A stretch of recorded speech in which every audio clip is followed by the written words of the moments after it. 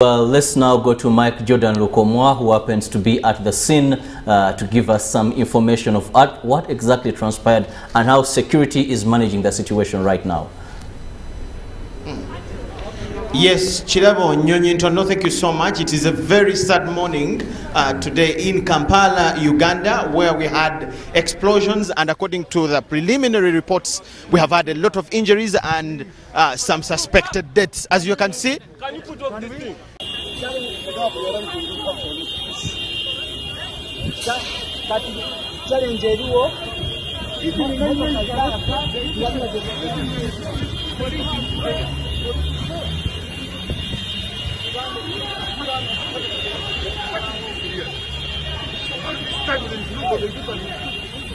have police here. And they had. And this is terrible. Have you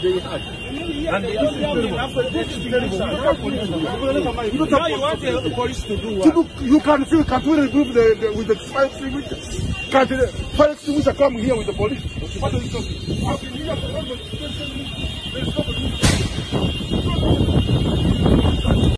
uh, the situation is tense and uh, it can't be stable better than this because we are being pushed away from uh, what is the scene already cordoned off by security operatives security agencies are already in charge of the situation here. But it is sirens of ambulances sirens of security vans and pickups and all that. Uh, the situation is really tense. I can see a lot of police officers here army officers military officers are trying to uh, trying uh, to, to, to see how they can contain the situation. But as you can see in that direction, it is only ambulances, firefighting trucks.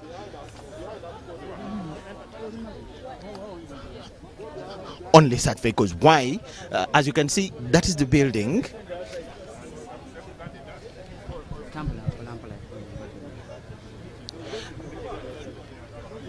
opposite farmer's house the building that has a number of atms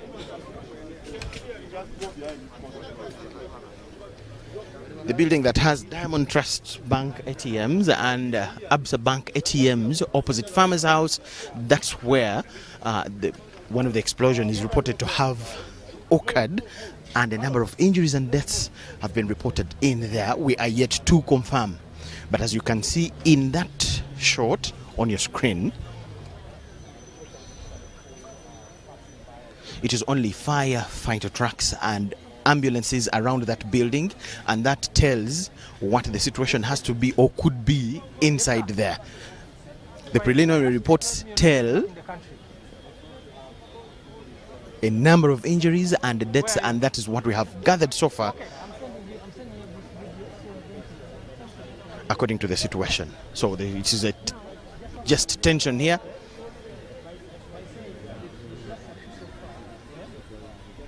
Ambulances are expected to be uh, evacuating those injured.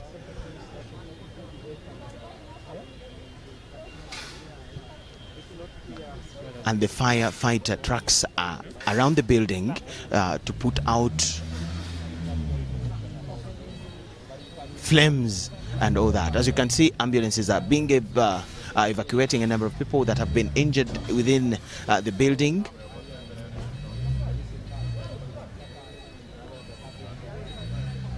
And security is in charge of the situation. Uganda last had this kind of a scenario a number very many years ago in September 11th. That was uh, during when people were watching the World Cup finals in Lugogo and the Ethiopian village in Machindie, where had explosions and over 30 people died in that occurrence. Here is it, where more than two have been reported in the city this early morning at around between 9 and 10 that explosions went off early this morning. So we'll be giving you reports. As you can see, that's another ambulance, St. John's ambulance, and probably it's here to evacuate one of those that have been injured. Security has cordoned off uh, the road between Parliament and uh, Parliament of Uganda and uh, Farmers House. The, that road that goes, it connects to uh, what used to be Nando's, then Uganda House. Um, security has cordoned off that road, and we are not allowed to go beyond the gate of Parliament to close to uh, the building that had the explosion. So we, we can give you information from a distance, something like 100 or 200 meters to the building that is said to have had um, the explosion. So, so far that is the situation here along this street. As you can see, it is only health workers and security personnel that are with the right to walk around and take uh, uh, the chance to contain the situation.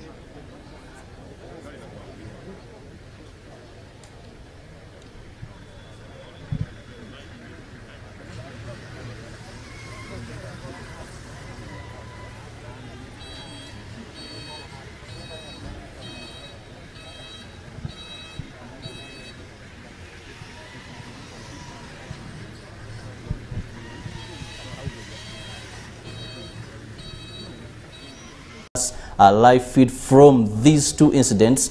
A couple of casualties have been reported and these have so far been taken at uh, Kampala Capital City Clinic for treatment. But also we must inform you that in case you're making uh, your way into the city, there could be inconveniences in some of these areas, areas around CPS and also uh, parts around Parliament, of course. And of course, we continue calling upon vigilancy Vigilance at this time in case of any suspected activity or any suspicious character, please inform the security. And also in case you're stopped or some places have been cordoned up, please be able to comply. Uh, we'll be going to the scene anytime from now where our reporters are already deployed to give us more of what is happening. But I'm with Priscilla uh, Naroga. Priscilla, it all started as a peaceful uh, day but of course, we've known in the last two to three weeks, first was the uh, British Commission warning us, uh, the UK government, that there could be attempted terror threats. Then we saw what happened at Komamboga, at that is a Digitapo joint where a suspected terrorist uh, we saw lives, a life that was lost, people Yes. were injured. Then also, not so far, we had a the bus transport sector. the transport sector also being affected uh, by good enough in that incident uh, the actual person according to security reports shows that one of the terrorists, terrorist is the was also actually passed away. passed away in this we've been at this of course not forgetting the 2010 what happened at ethiopian village and of course uh, here Kyadondo at Rugby Kyadondo Club. Rugby Club so we've been at tenterhooks in one way or the other most at such a time. Here we are yet to get the actual facts. But what we know it has been a blast and security have been trying to get to Luko West Gile and they said Robert we are still busy but we suspect indeed that there has been two bomb blasts in the city Well, it's definitely been an interesting morning. Uh, the loom of darkness beholds the city, the capital of Kampala. We had, we first had the first one, but it wasn't as much pressure uh, in, for, in reference to the ground. And uh, we were having a meeting with my colleagues somewhere within the building. And then the second one went off, and that ascertained that this can only be a bomb. It can't be a tire that has burst somewhere around one of the roads that's around our premises here.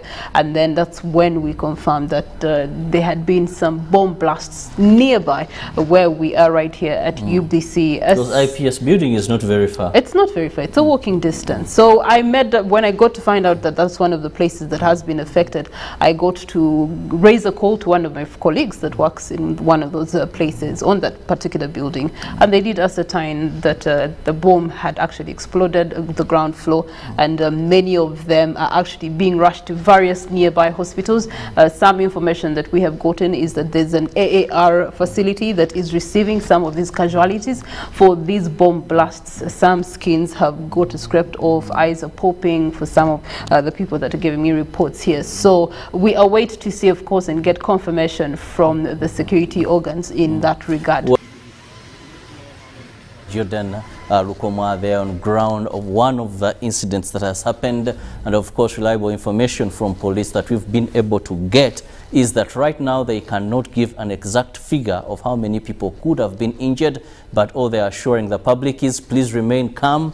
Uh, security forces are doing all it takes to ensure that they restore order and also uh, Luke just, just said please abide by the current inconveniences because some roads have gotten diversions and also abide by what security is instructing you. He said most of a time like this people tend Priscilla not to abide. If they tell you do not cross this particular point. Because sometimes when terrorists carry out such activities uh, they know that sometimes there would be presence of people rushing at That's- a certain point and they take advantage of that again. So police is urging you that when you're told do not access do not go to this venue please do not at such a time do not take this road. If this has been cordoned off So basically, where we are seeing red tape right now, especially in around Parliamentary Avenue, that is a place that is definitely a no-go zone right now. And the purpose as to why they're pushing people away from the area code is that it's still a live um, place. Anything can happen right can now because happen, it's yes. still a, a live explosion site, and that is to protect people and also to make sure that every form of evidence is protected to be able to then carry out uh, further investigations into exactly what has gone down this morning. When you talk about traffic, obviously any traffic that is going through Parliamentary Avenue, if you are accessing the likes of Saida, Chintu Road, all those areas are going to not be accessible as of the rest for the day. Even some parts of Jinja Road, I'm pretty sure on the other side where you do have DFCU Bank and uh, the railway on the other side, I think those are also going to be cut off for security purposes and we're going to be having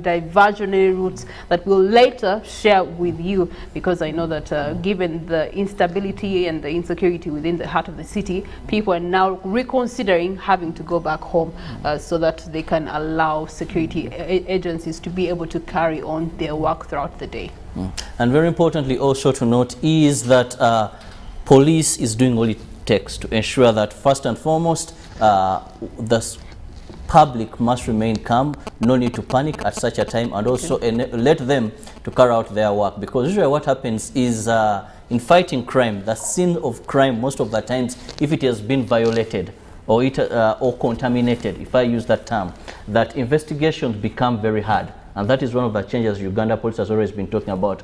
That even where we would get relevant evidence, you find that these scenes have been contaminated. Okay. People want to know, people want to be at places they shouldn't be in terms of this, yet this could render their lives also in danger. But let's look at uh, the element of uh, such incidents of terrorism. We know terrorism is a global threat.